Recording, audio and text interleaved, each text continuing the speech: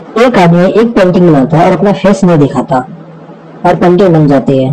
तो अब आपको ये बताना है कि इन तीनों में से उस पेंटिंग को किसने बनाया है? आपके ऑप्शन है वन